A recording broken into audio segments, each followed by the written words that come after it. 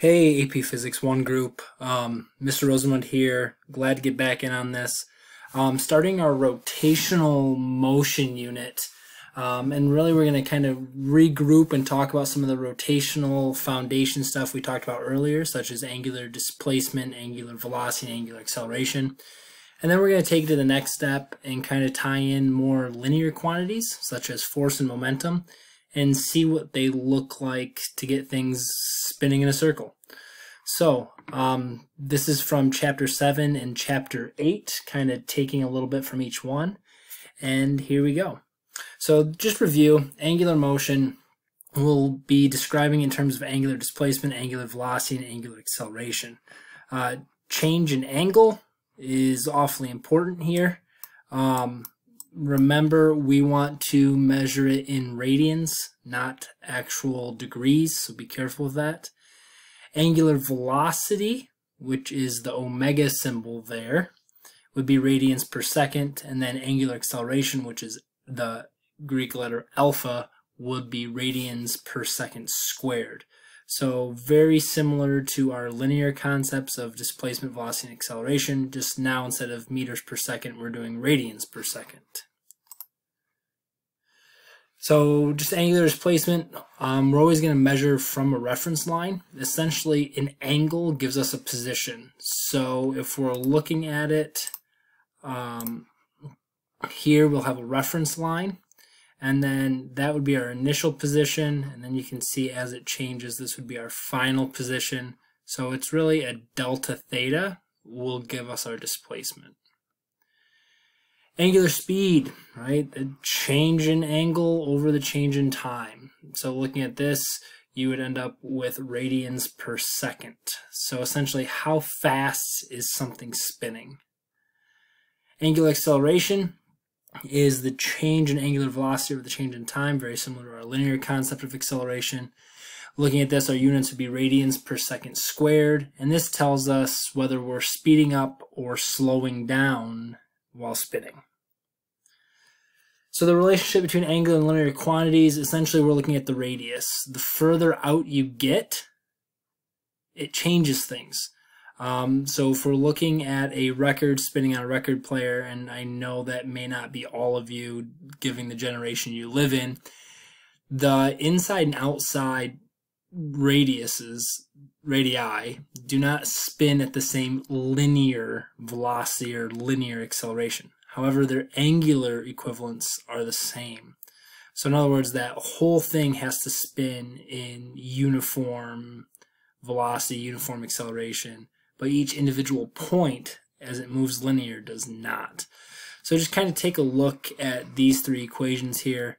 Notice this would be like arc length is angle in the radius, the tangential velocity as we often refer to it, or linear velocity, and then uh, tangential acceleration. So all of our kinematics equations that we used when we were doing linear motion still apply now that we're doing rotational motion. So with that, we just replace velocity with angular velocity, acceleration with angular acceleration, and instead of a displacement in, say, the x or the y, we have an angular displacement, a change in angle. So that's kind of a review. We've kind of dealt with some of these before um, to varying degrees of success. So now we're going to kind of recircle back to them, no pun intended on the circling, and move forward. So now we're looking at chapter 8, where we're going to start talking about how do we get things to actually move in a circle. Ultimately, when we did our force unit and talked about Newton's laws, we always assumed that we were treating everything as a point particle. So all of the forces acted on a very singular point located at the center of mass. In other words, when we were pushing on that crate to slide it across the floor, there was no way we were going to tip it over because we were always pushing at the center of mass. Well, welcome to the real world. We can actually tip that crate over if we want. We can rotate it. So looking at that, we're going to take a look at rotational dynamics. And then afterwards, we're going to look at angular momentum and see how that kind of plays a role. Pretty much everything we've talked about in class so far is going to be duplicated in this unit, just looking at things rotating rather than moving linear. So force versus torque. forces cause accelerations. If you don't know that by now, um, let's set up a time to talk. Um, just pure honesty there. Torques, which are related to forces, cause angular accelerations. So we can start to see the parallel between linear concepts, forces cause accelerations, and angular concepts, torques cause angular accelerations. So torque, the best way to explain it is kind of talking about how we open a door. So this is kind of the weirdest way you've ever seen a door. Think about it as a top-down view. So if you were like on the ceiling, like Spider-Man looking down. On the left-hand side, uh, labeled uh, O, we have where the hinges would be. And then you can kind of see the doorknob on the right-hand side. And then you see the force, which is being exerted at the doorknob, going up. So looking at this, when we're talking about torque, there's three things that we actually care about. How hard are we going to push? The magnitude of the force. The position, where are you pushing on at the door? And the angle at which the force is applied. Are you pushing it straight on? Are you pushing it at some angle? So just kind of to show some different examples which might give us different options. If I push here, sorry about my arrow, arrow, assume that's a straight line, we'll get much different things happening with the door than if I pushed over where the blue arrow was. No different is if I stayed where the blue arrow was and pushed at some angle with the same force. We'll get different things happening. Weird thing is, and we've probably never noticed it, but there's been times where we've tried to push right on that hinge you know, when you're walking to the gas station and you don't realize it's a pull and you accidentally try to push, or if you push instead of try to pull. Kind of the same idea here. If I push right on that hinge, we probably wouldn't expect that door to rotate. And then notice they've labeled it here for us, the R, which is really a position. So where is that force located? So for a couple other ones, this might be my R, or this would still be my R for the force and angle at the doorknob. And then the one right at the hinge, we would have an R of zero. So we're essentially measuring a distance from the axis. So torque. Torque is the Greek letter tau. Notice kind of goofy T here. Um, wiggle, squiggle. I almost think of it as a backwards J. And so here we're looking at torque is equal to the length of the position vector times the force.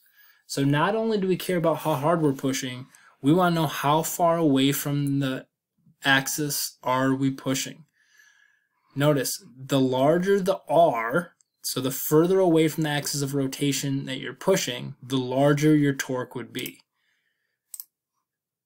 So looking at this, it's very important to understand that if you want more torque, you have two options. Push or pull harder, larger force, or increase your distance away from the axis. So our unit our Newton times meter. Hmm, let's see. Force is measured in newtons, and R is a length, so it's measured in meters. Newton meter just sounds way better than meter Newton. So just live with that there. Direction of torque. Torque is a vector quantity. No surprise there because force is a vector quantity. In other words, we care about the direction. So looking at this, we basically are going to go with a counterclockwise or clockwise idea here. And we've already talked about this when we did our rotational unit earlier. But we want to look at which way the force is kind of going. So if the turning tendency of the force is counterclockwise, in other words, if the force is trying to, doesn't necessarily mean it has to, but if the force is trying to rotate it counterclockwise, the torque is going to be positive.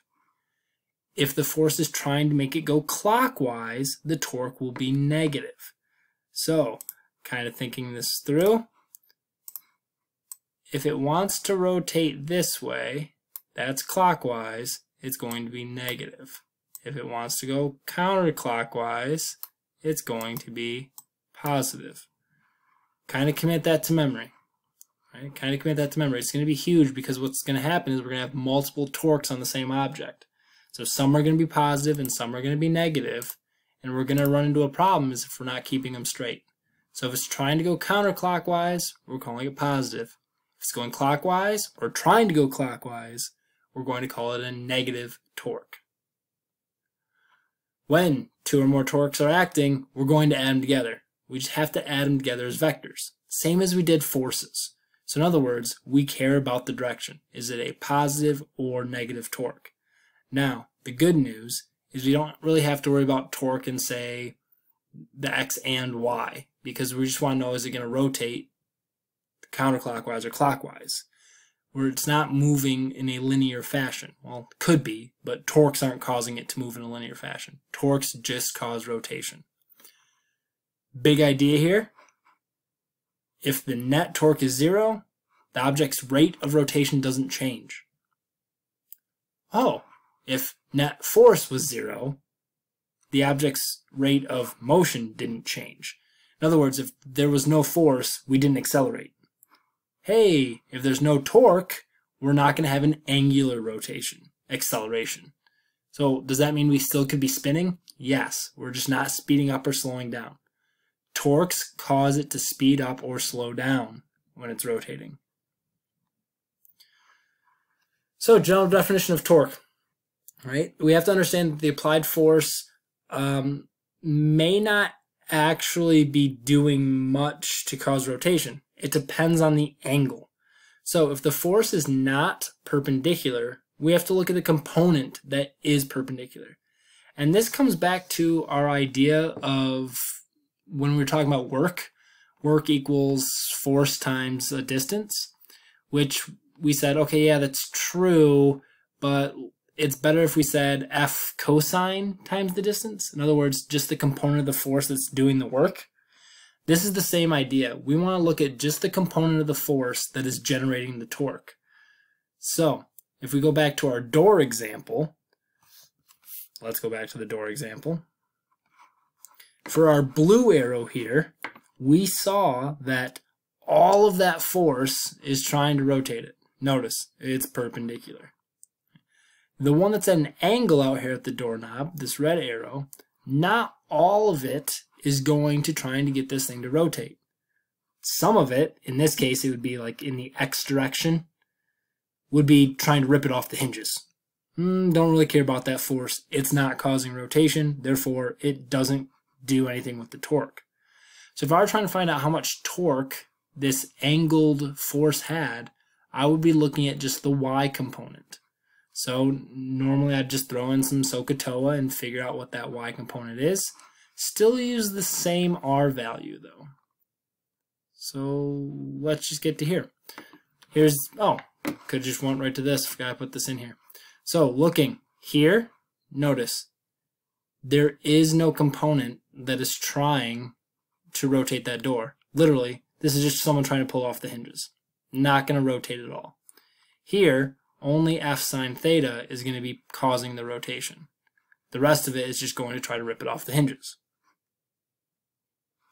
So, taking the angle into account gives us a new equation, and this is the one we should commit to. This is the one that we should say, hey, look, this is important.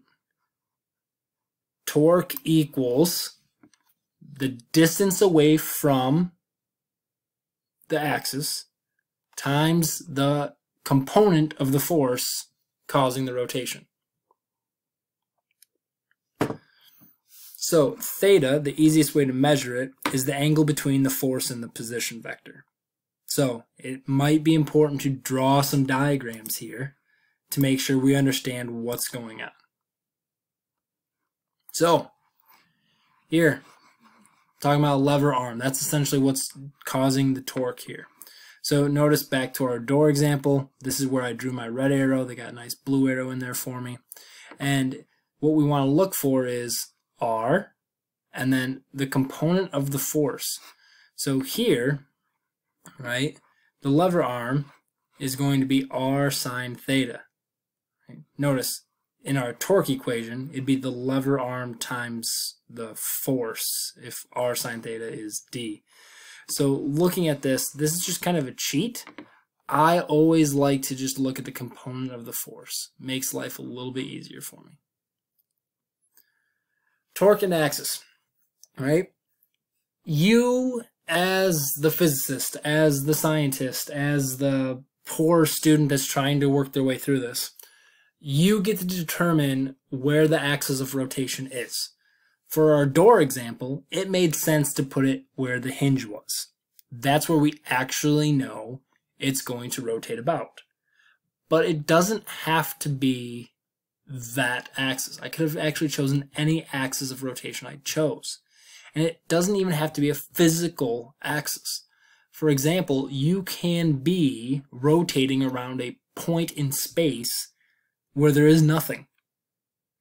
High jumpers are a really good example of this, and this is something you might want to YouTube or do some searching for. But ultimately, when a high jumper jumps over a, a bar that's six foot in the air, their center of mass doesn't actually go over the bar, it goes under the bar. And it's partially because they're rotating around an axis that's lower than the bar. Um, just kind of interesting side note there. But what this ultimately does is gives us the option to choose whatever axis we want.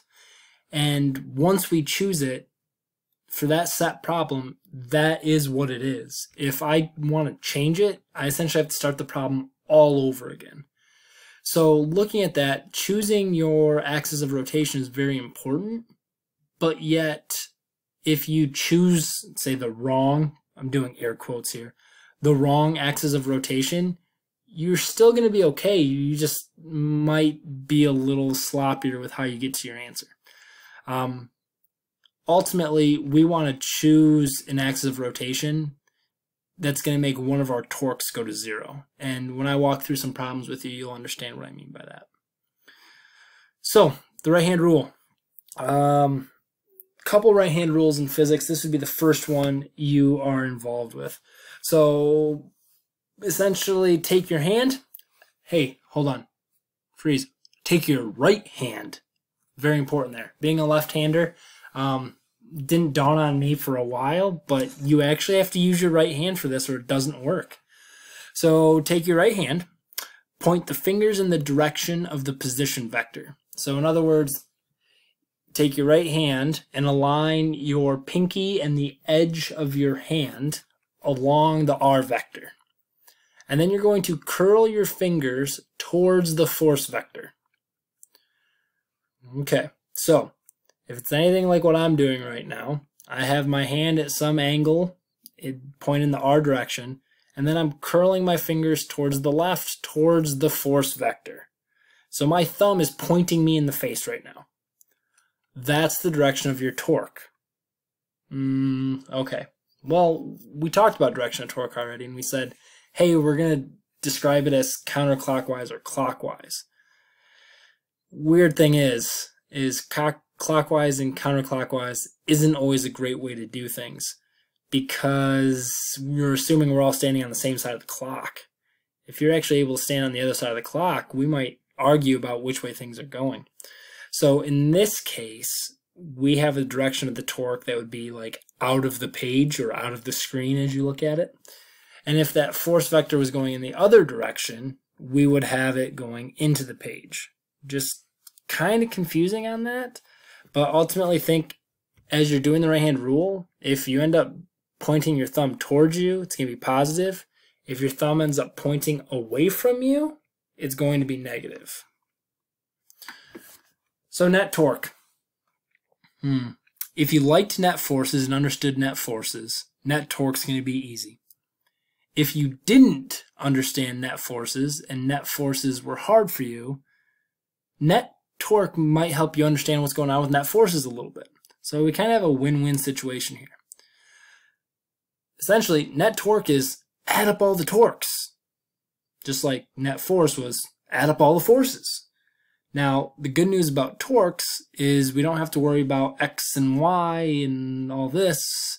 So when we're dealing with forces, we could have x positive, x negative, we could have y positive, y negative, and you could have components that would figure into that. With torques, once we calculate each individual torque, it's either going to be positive or negative. makes life really kind of easy.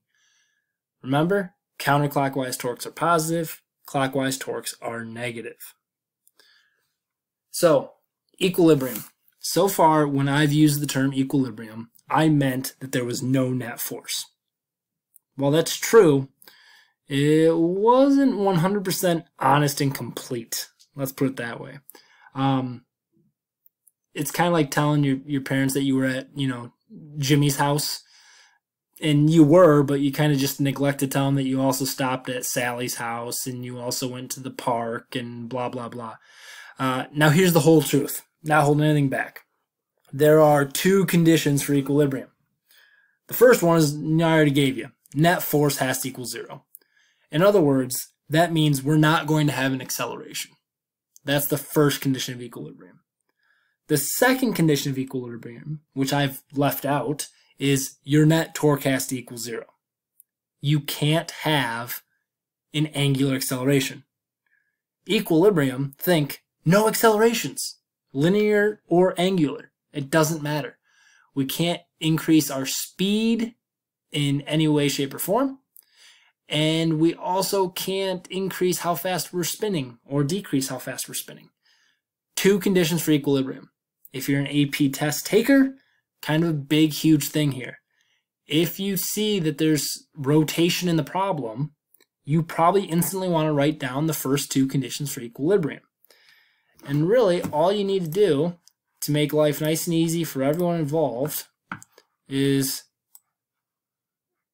write these three things down.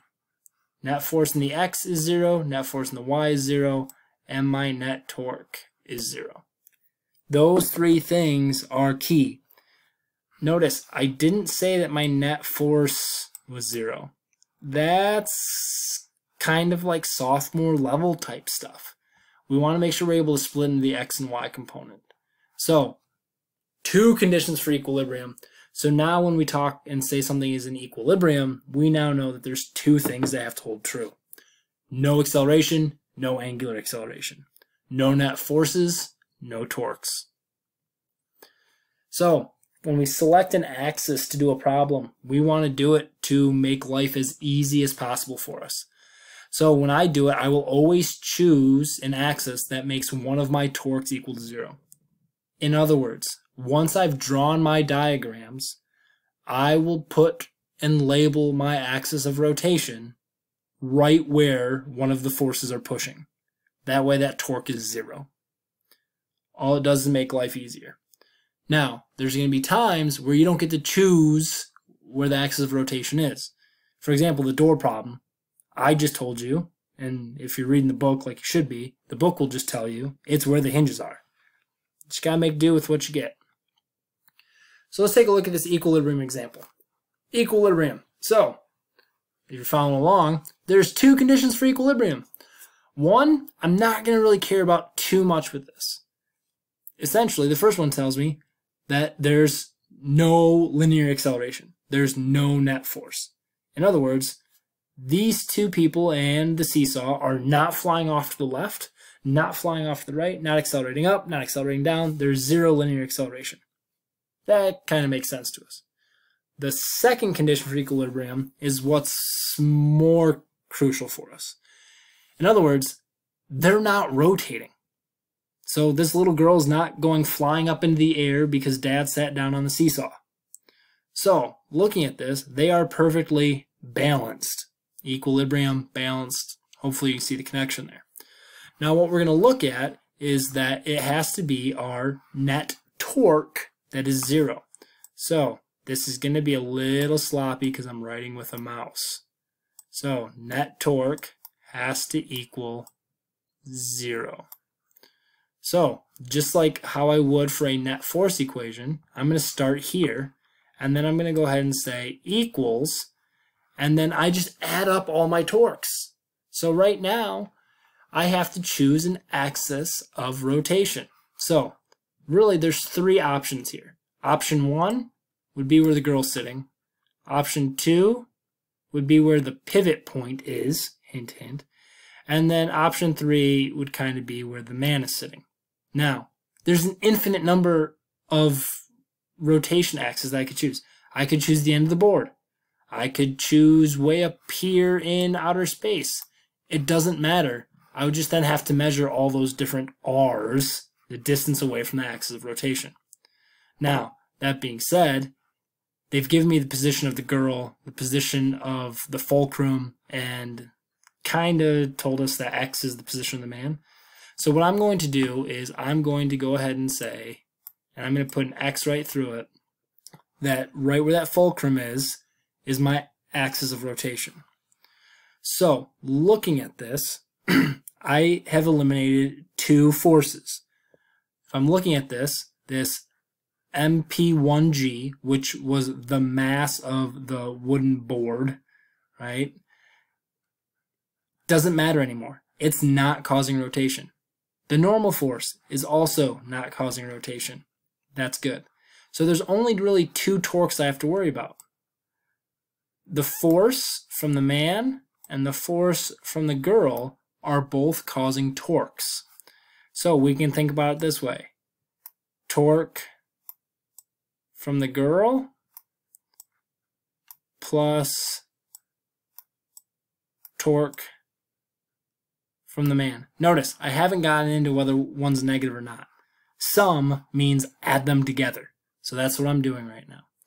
So looking at this, the good news is all of my forces are perpendicular to my distances, which means I don't have to worry about sine or cosine or any components of forces. So really, I have the force of the girl, mg, lowercase m, and the force of the man, uppercase mg. And then I can just go, hmm, okay, and then here are their distances, 2 meters and x meters. So the torque from the girl is going to be the force mg times the 2 meters. And then the torque for the man is going to be his force, uppercase M G, and I'm going to put times x because that's his distance. And remember, this is all going to be equal to 0. Now there's one thing that's really important. These torques are not trying to cause it, this to rotate in the same direction. The man's torque, this force, is trying to rotate it clockwise. Notice, if the girl jumped off, this whole thing would rotate clockwise. So what that means is that is negative. Remember, counterclockwise is positive. So really I'm going to have mg2 minus mgx equals 0. If I knew the masses, I'd easily be able to find out where dad should sit so that way this could be balanced and she's not going to be stuck in the air or stuck on the ground. So setting up net torque equations is just like setting up net force equations. So let's talk center of gravity. Center of gravity. We've kind of neglected this. And we've kind of talked about on the human body, it's right around where your belly button is, and that for a box, it'd be right in the center, etc., etc. There's a lot more to it. Ultimately, the center of gravity is based on the position where the net torque of that particular object would be zero. So, in other words, if I were to put a balance an object on a pinpoint right in the center of gravity, it wouldn't rotate because all of the torques would quote unquote cancel each other out within that object. So you're probably going, well, what do you mean the torques inside the object? Well, think about each object being split into individual masses that are at different distances away from the center. Almost atom by atom type idea, and each atom's pulling being pulled down by gravity. So how those atoms are distributed really matter. So we're going to look at kind of the center of gravity as being where the force of gravity is acting on it. So if we're looking at this man here on the right hand side of the screen, right, we can say, okay, well, his legs are pulling down on this side of him and you know, his butt's pulling down on the right hand side, and his hands seem to be out in front. And so his center of mass would have to be right, you know, here. Yeah, that's perfect. And what we can then assume is that all of his mass is balanced right on that singular point. So we can say that force of gravity caused by that man is right there along the center of mass. So, calculating the center of gravity, this is what I'm talking about. If we had all of these individual particles, right, and so here we really just have one, two, three. Now, we could divide it into very large numbers, and calculus friends, you might really like these types of problems or hate them. But ultimately, each one has an x and y component, and each one would be causing a torque. Each one would be causing this thing to try to rotate. Now, the center of gravity being right here means that all of the torques on this side balance with this side. All of the torques above balance with all the torques below. And we can even think about this in an XYZ type point where in and out of the page they'd all be balanced around the center of gravity as well. So looking at this, we're not going to get into too much on how to calculate it mathematically. I'll save that for all of your professors um, in college. But you can kind of take a look at it that um, for the center of gravity in the x, to find that location, it'd be the sum of all the masses times position divided by the sum of all the masses. Right? Y, find that position, it'd be the sum of all the masses times positions. Now that'd be for each individual part. So it'd be like m1 y1 plus m2 y2 plus m3 plus y3 divided over the entire mass. Now, once you find your x, y, and z, that's essentially where your center of gravity is. We're going to talk about how to do it experimentally, which for anything you would need to do is going to be good enough. So, center of gravity and center of mass. You've probably noticed that I've been using them interchangeably throughout the year. And that's probably not great on my part, but the reality is they are the same thing, especially in my classroom. If the value of gravity, the acceleration of gravity, g, doesn't change throughout the object, then they're the exact same thing. The only way the center of gravity and the center of mass would be different is if that acceleration due to gravity changed as you moved through the object. So it doesn't really work that great for, say, a ruler in my classroom or a ping pong ball in my classroom. But it may matter if we're looking at a more celestial scale. Let's look at uh, the solar system. Things might change there between the center of gravity and the center of mass. So, when we're talking about a uniform object, right? Homogeneous means it's got the same density, it's made of the same stuff, it doesn't change throughout and it's symmetric, um, the center of gravity is going to lie on the axis of symmetry. So in other words, if you have a square, it's going to fall right in the middle of the length. It's going to fall right in the middle of the width, and it's going to fall right in the middle of the height. So, um, often the center of gravity is just the geometric center of the object. For a sphere, it would be right in the center of that sphere. Crazy idea there. For a rectangle, it would be in the center of rectangle. So imagine if you were to take the length and cut it in half, that's where the one axis would be. If you were able to cut the, the length and the height, it'd be the same thing. Um, so ultimately be thinking about that, that if you had a uniform rod um, of length L, the center of gravity would be located at L divided by 2. Um, and we'll see that in some problems where ultimately we need to know where to put that force vector for the weight of the object or the force of gravity of the object, so to say. So in other words, when we're looking at where should I put, you know, the force of gravity on my diagram, it needs to be where the center of gravity is. So we're going to have uniform objects. So essentially, if you have a board of, you know, that has a length of 40, well, then at the, the 20 meter mark is going to be where the center of gravity is, and that's where you should put your force of gravity. So, experimentally determining the center of gravity. To be honest, this is one of my favorite labs we normally would do in class. And ultimately, what I'd do is I'd give you a bunch of random stuff starting off with just kind of two-dimensional objects, sheets of paper cut out in different shapes, and I'd ask you to find the center of gravity experimentally. So I would give you, say, a cutout of the state of Texas and go, go ahead and tell me where the center of gravity is. And you'd have to experimentally determine that. Now, to do that, all we really need to do is find two out of the three intersections of XYZ center of gravity, and that'll give us where it's at.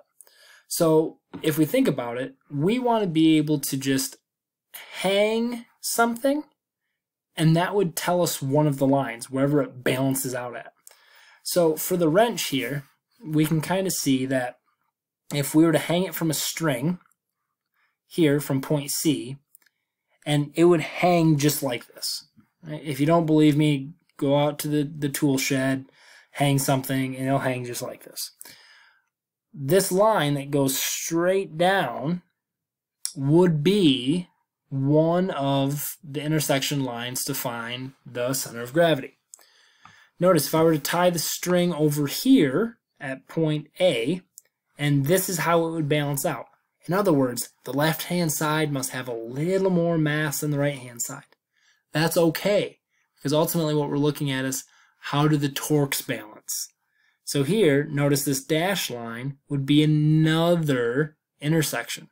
So where those two intersect, at this point right down here, think line AB, line CD, where they intersect, would be where the center of gravity is.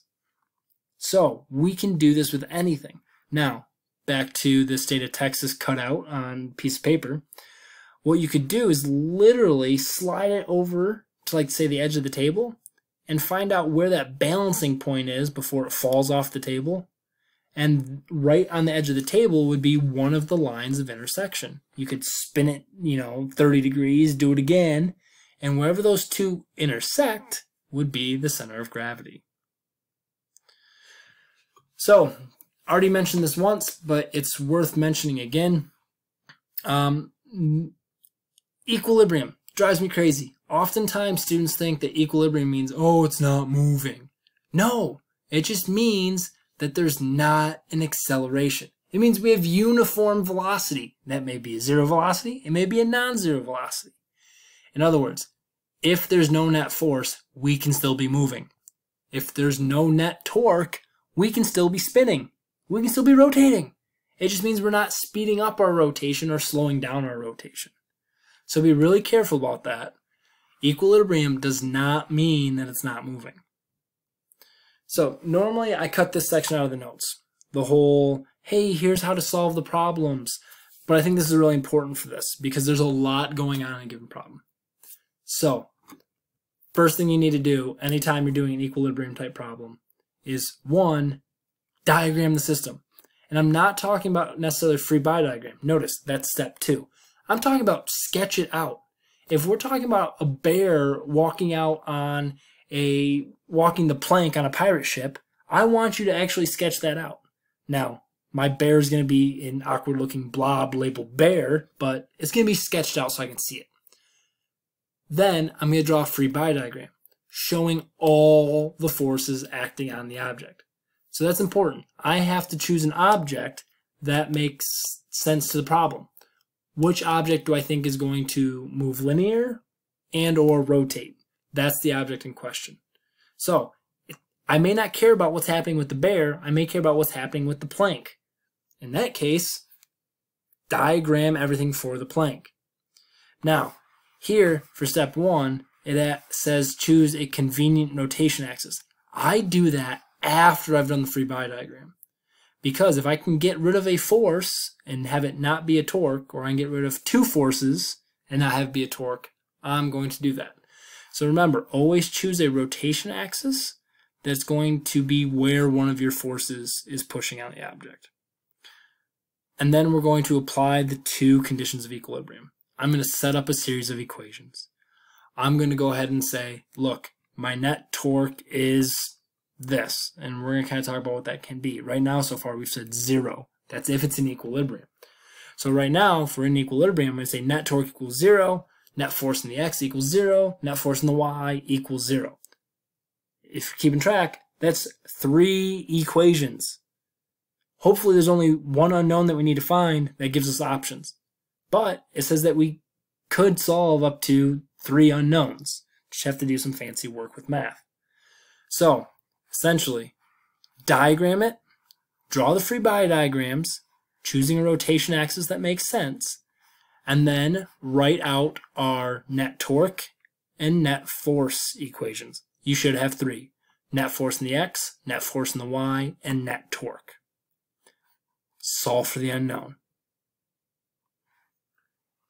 So here's a great example, right? Notice this would be the sketch of what's going on, right? So it looks like someone's holding a, a bowling ball. Yeah, great. Okay. So what object do I care about? Hmm. In this case, it looks like the ulna is going to be what's rotating. Okay, ulna, great. No one cares. That's squishy science. Hey, this thing here, great. I'm going to represent it with just this for my free body diagram. Now, I'm going to indicate every force that's acting on it. So right now, I can see where my point of rotation is, there, still here. Right. Now, 50 newtons, that was the weight of the bowling ball. This force here looks like it was probably the force of the bicep. And then this R thing, hmm, not really sure what's going on there, but the good news is, don't care because that's the origin, it's not going to cause a torque.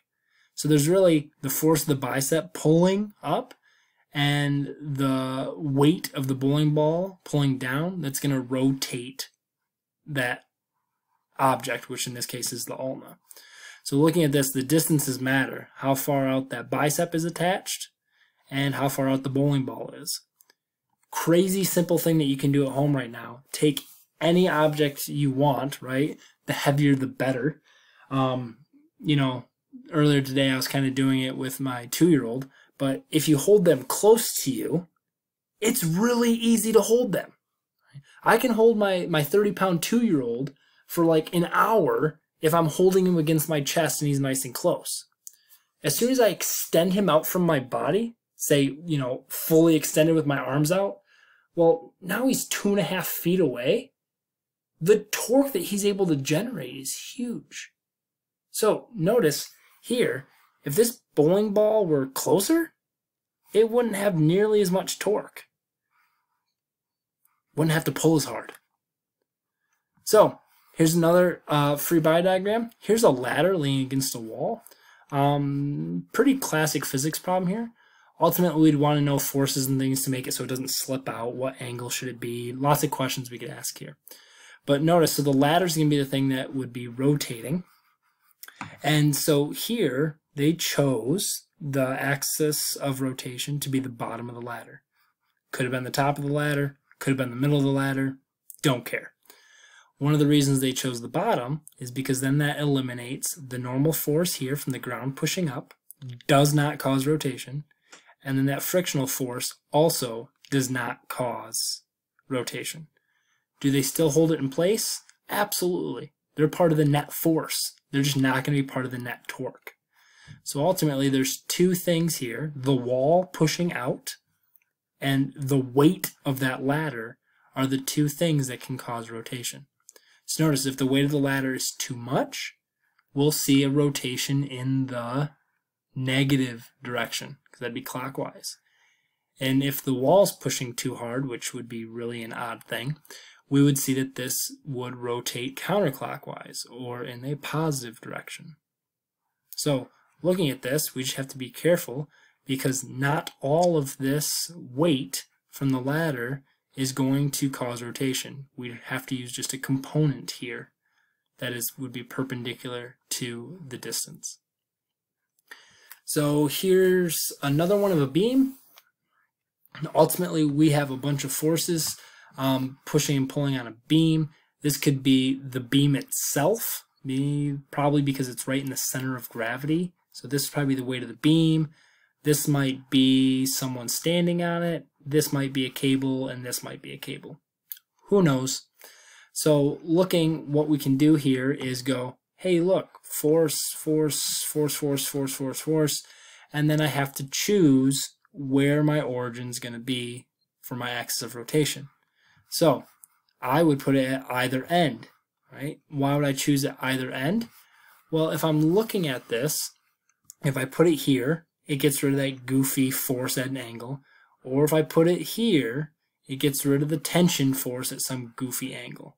In other words, I don't have to worry about the components going on there. I can just say, hey, look, that doesn't matter because it's at the axis of rotation. So then I'm playing with one, two, three forces causing torques instead of, say, four. So, torque and angular acceleration. Whew. So far, we've looked at torque in the sense of equilibrium, saying, hey, look, we don't want there to be an angular acceleration. But what if we do want there to be an angular acceleration? What if we do want something to spin? Well, then we have to have a torque, right? No net torque said no angular acceleration. Well, if you want angular acceleration, you need net torque. So ultimately, the relationship that we had, Newton's second law of net force equals mass times acceleration, can be reapplied with our rotational motion. Net torque equals hmm, something similar to mass times acceleration, but probably not mass times acceleration. Well, I know it's going to be angular acceleration, so let's just take a look and see if mass is still the same. No, it's not. And here's why. When we're dealing with the whole object, moving left to right, up or down, we said all of that mass was concentrated at a given point. That's fine. When we're talking about an object rotating, how that mass is distributed really matters. If that mass is spread way out really far, excuse me, it might be really hard to get it to accelerate, angularly speaking. So what we look at is something we call moment of inertia.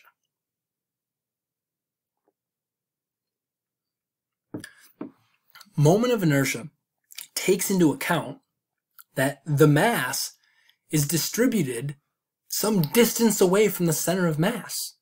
So, what we see in our equation is capital I is the moment of inertia. It's the sum of each individual mass, so we can think particle by particle, times its distance away squared. And the units are goofy, kilograms times meters squared. And we're going to see how this plays a role here. So, what we have Newton's second law for rotating objects is net torque equals moment of inertia, that's that capital I, times angular acceleration, angular acceleration, alpha. So here, this is Newton's second law. F equals ma. Torque equals I alpha. And is moment of inertia. So looking at that, same relationship, just rotational instead of linear. So, moment of inertia.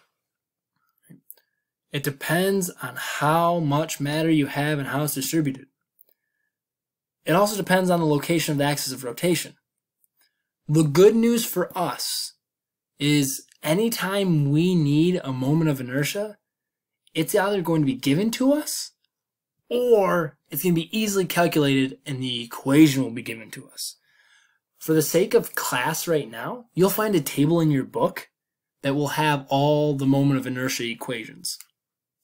So, moment of inertia of a uniform ring. So notice, we're going to be looking at different shapes because that's how the mass is distributed. My calc friends can kind of see how we could do a lot of calc here is if we were able to take this ring and split it into, I don't know, let's say an infinite number of small masses. So here, right, um, each segment, M1, M2, M3, is all the same distance, capital R, away from the, the axis of rotation. So what we get here is we can just go the sum of mr squared, which is our equation for moment of inertia. We can say, hey, for a uniform ring, it's the total mass times r squared. And that r is uniform throughout. So we kind of get to cheat and just say, look, this is what it is for a uniform ring. Here's other moments of inertia. And this is the table I was talking about that's in your book. So normally, if we had all sorts of time in the world, which we never do, I would walk you through how each one of these is kind of derived. where we can see the moments of inertia are really just the sum of each mass times r squared. So what we saw here was for a ring, it was mr squared. Well, guess what? That ring, if it's thick like a hoop or a cylindrical shell, right, it's still going to be the same. It doesn't matter if it has some height to it or not. So you can think about the hoop is often what it's called, is also a uniform ring. If it's a solid cylinder, right, and you're going to see this one probably quite a bit, that and the solid sphere, is the moment of inertia is 1 half mr squared. In other words, notice the moment of inertia got smaller, 1 half mr squared, if these were the same mass, because more of the mass is around the center or near the axis of rotation. In other words, because the mass is closer to the axis of rotation, it has a smaller moment of inertia. More of the mass is spread out at a distance, the larger the moment of inertia. Solid sphere, 2 fifths mr squared, and then thin spherical shell, 2 thirds mr squared. So notice when we go from a solid sphere and we take, say, that same m mass and spread it all out to be all further away, none's near the axis of rotation, we get a larger moment of inertia. And then this last bottom row here is a good example of how the axis of rotation matters. If we have a long, thin rod and we choose the axis of rotation to be through the center, then its moment of inertia is 1 12th ml squared. Whereas if we chose the axis of rotation to be through the end of that long thin rod, we'd be talking one third ml squared. So moments of inertia, all we really need to know is that when we rotate an object, we don't just care about the mass, we care about how the mass is distributed. So the shape of the object matters. And then we use the corresponding equation for I. So Newton's second law for rotation. If I want something to have an angular acceleration, I need a torque. So here, if this bucket is falling, right, here we would see net force equals mass times acceleration. We would see that the uh, if it were falling, that the force of gravity would be going faster if it were accelerating downward, right? Now, we can see that this wheel on the well would also spin. So axis of rotation in the center, I don't care about the mass of the wheel. I don't care about the normal force pushing up on the wheel. All I would care about is that torque. Now what's important to understand here is that the torque causing, or the tension causing the torque is also the same tension that's causing that to move. Those are the same tensions. So the tension pulling up and the tension pulling down are the same tensions. So ultimately what I could do is set up a net force equation for the bucket. Uh, net force equation for the wheel would just be zero because all these forces have to cancel out because the wheel's not accelerating up, down, left, or right. Then notice the bucket isn't rotating, so I wouldn't have any net torque equations, but I would have a net torque equation for the wheel. So here I would have a net torque equation, and over here I would have a net force equation. Two equations, I can solve for some unknowns. All right, we're 54 minutes in or so. If you haven't gotten up and stretched, shame on you. Uh, this is a video. You can pause at any point. Um, please do. If you are listening to me for, I don't know, more than 10 minutes without hitting the pause button, um, you might have problems. Yeah. So, I'm going to take a drink. Made some tea today. It's kind of nice. All right. So, you know how I kind of lied to you about the equilibrium stuff earlier? Yeah, I also lied about energy, where we said, hey, mechanical energy, that's gravitational potential energy that's spring potential energy, and that's kinetic energy. Well, I might have forgot to tell you guys that there's another type of kinetic energy, rotational kinetic energy. And rotational kinetic energy just says, hey, look, if you take any object, it takes work to get it to rotate. Work equals the change in energy, so hey, look, kinetic energy. Hmm. Kinetic energy was based on the movement of an object. For linear kinetic energy, it was 1 half mv squared. Rotational kinetic energy, we still have the 1 half, but when we're rotating, we don't just care about the mass, we care about the moment of inertia, how that mass is distributed. So we're looking at 1 half moment of inertia, I, times not velocity, but angular velocity squared. So we have omega squared. So really sciency, right? Rotational kinetic energy equals one half the moment of inertia times the angular velocity squared. Yeah, I sound smart. But what does it all mean? In other words, the faster it's rotating, the more rotational kinetic energy it has. And that's actually um, kind of a big deal to make note of, that it's actually an exponential, sorry about that, an exponential relationship there. So if you double the angular velocity, you're actually quadrupling the amount of rotational kinetic energy it has. Moment of inertia, now remember that's going to be replaced by some version of mr squared, whether that's two-thirds mr squared, depends on the shape. Um, but notice that's kind of the angular component of mass that we're looking at. So energy concepts can make life easy sometimes. I know if we were talking about how fast an object can hit the ground, rather than doing any kinematics work and going, well, acceleration and then final velocity and blah, blah, I would just go, hey, look, potential energy became kinetic energy. And the same's true for rotational kinetic energy. Can make it really easy if I'm trying to figure out how fast it'll be spinning at the end or how fast it'll be spinning at the beginning. But what that means is that everything we've done with energy, especially conservation of energy, we kind of neglected the rotational kinetic energy. So I'll have another video about that later where you'll see, hey, now that we have this, how does that change some of our problems? This is essentially it, right? Now, here, I really don't like this equation either because you have gravitational potential energy, but you don't have spring potential energy. And you also don't have any work involved here. So in my other video, I'll kind of go more in depth on this whole conservation of energy with rotational kinetic energy. Notice they have T here, right, uh, for translational, or you can think about it just as linear kinetic energy. So work, energy, and rotating system, I'll talk about that later, but ultimately here is work can equal the change in rotational kinetic energy. Just like work could equal the change in potential energy, work could equal change in uh, linear kinetic energy. Work is just the change in energy. I don't care what kind of energy. So problem solving hints.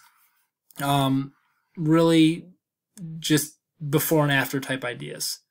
Um, and then we're getting close to the end here. So bear with me.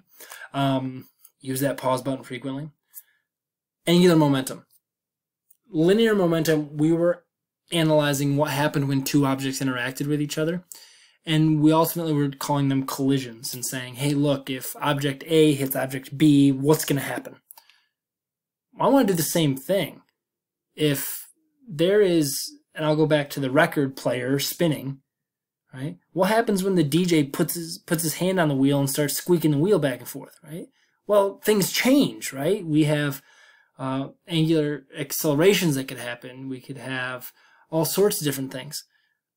Angular momentum is something that's really important that we understand because it obeys everything that linear momentum had. So how did we get a linear momentum? Well, we need an impulse. We needed a force for some duration of time. Well, we're going to see the same thing. How do you get an angular momentum? Well, we're going to need a torque for some amount of time. And angular momentum is denoted by capital L and is the moment of inertia times the angular velocity. Whoa, that's crazy. You're telling me that momentum is something to do with its mass times its velocity? Hmm, yeah, momentum was mass times velocity. Here, angular momentum is moment of inertia, which is our mass equivalent when we're doing rotation, to our angular velocity. And what we'll see here is, and at the bottom here, net torque equals the change in angular momentum over the change in time. Well, earlier we had F delta T equals the change in momentum. Impulse equals the change in momentum. Here, this is no different. If we multiply both sides by delta T, we get uh, torque times delta T equals change in angular momentum. If you have a torque, a net torque, you'll change the angular momentum. Makes sense? If we had a net force, we changed the momentum of the object. So, if the net torque is zero, the angular momentum remains constant. Now this is important, conservation of angular momentum. Same thing as conservation of momentum, right? That the initial angular momentum will equal the final angular momentum. Now, what we saw in the linear was masses of objects didn't really change unless they combined in a inelastic collision and became one mass. We can still see that with angular momentum.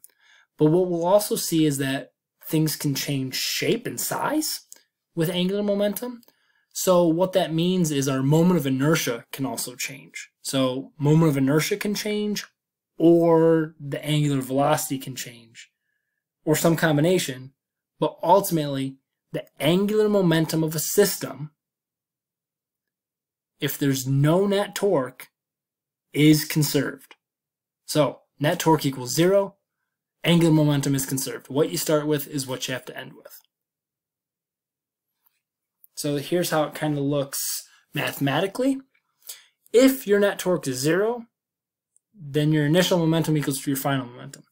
Or we can think of it as moment of inertia times angular velocity equals the final moment of inertia times the final angular velocity. Special note here, normally we're used to dealing with the velocities changing. I've already said it once, I'm saying it again. Be aware that the moment of inertia can change for an object.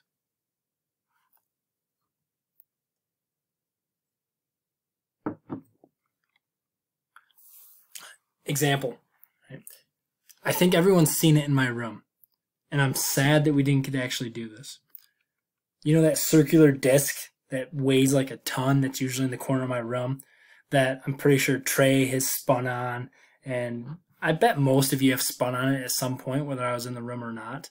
Um, yeah, everyone always asks, what is that for? And I only really have one answer. It's my conservation of angular momentum. And that's it. That's what I use it for. That's the only purpose I have. Right? Why do I spin in a chair all the time? Well, conservation of angular momentum. Ultimately, I would have loved to show you this demonstration. And if I can sneak up to the school and get it and bring it home, I might actually still do it. But don't tell anyone. We'll see. But looking at this, conservation of angular momentum. Here's a figure skater. Right? You've probably seen it. If not, YouTube it. But when they start to spin, they fly. Their angular velocity is tremendous. How do they do that? Notice this picture here. Tucked up nice and tight. This figure skater made their moment of inertia very, very small. So, if you have a small moment of inertia and angular momentum needs to be conserved, your angular velocity has to increase. So, if she were trying to spin with her arms straight out, she can't go that fast because she has a large moment of inertia. Start tucking those arms in tighter and tighter and tighter, and notice they're even crossed on her chest. Then she has a larger angular velocity. Now, as soon as she wants to start slowing down, looking at this, right? As soon as you extend your arms, you increase your moment of inertia, thus decreasing your angular velocity. So you just go back and forth. And if I had my platform, you could do that. Right? What's even better is if you had, say, two pound uh, masses in each hand, that makes it even more extreme. Right? So think about that as your example for angular momentum as you start approaching problems. So, one hour, five minutes, I'm done. I'll have more specific sections of notes and working through problems, um, especially with that rotational kinetic energy stuff and, and torque and angular acceleration. We'll do some practice problems with that. But this is the unit in a nutshell. So um, feel free to let me know if you have any questions on this, but I will be talking to you guys soon. Take it easy.